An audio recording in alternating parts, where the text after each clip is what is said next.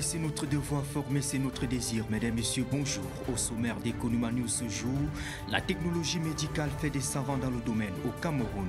Cluster d'innovation et annonce d'événements technologiques, c'est également dans ce journal. Voilà pour les titres.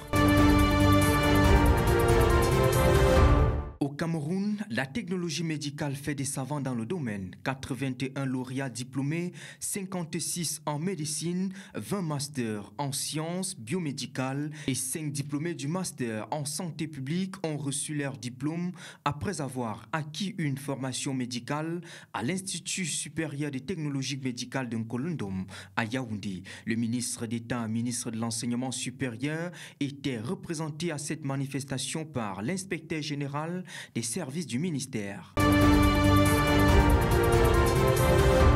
Technovation Girl encore et toujours avec Yango. La nouvelle campagne de sensibilisation de la jeune fille dans les domaines des technologies digitales s'est matérialisée à Yaoundé depuis le 4 mai dernier.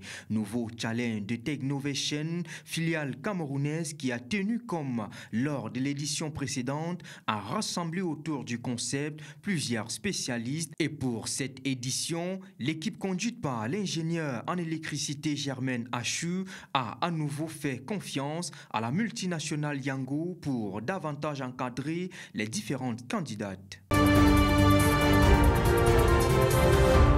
Journée internationale de la jeune fille dans l'éthique, les gagnantes sont connues. Les étudiants de l'Université catholique d'Afrique centrale remportent le prix de la compétition pour l'édition 2024. Elles ont marqué le jury par une solution très innovante pour lutter contre les violences basées sur le genre.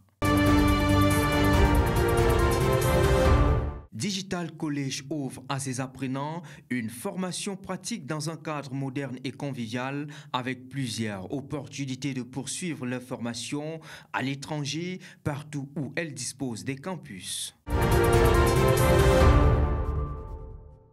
Place aux événements technologiques dans Econuma ce jour. La quatrième édition du concours national du digital est lancée à Digital College. La date de la composition est fixée au 11 mai prochain dès 10h dans tous ces campus sur l'étendue du territoire national.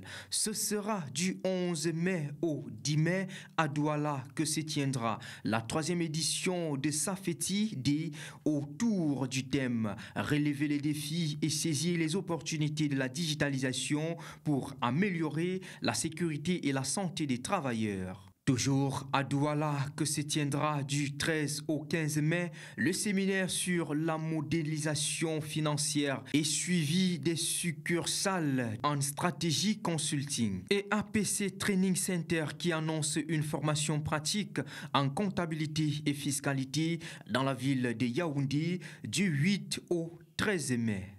Et c'est la fin de ce journal. Mesdames, Messieurs, votre fidélité nous honore. Retrouvez-nous en repli sur l'application Economa disponible gratuitement sur Play Store et App Store.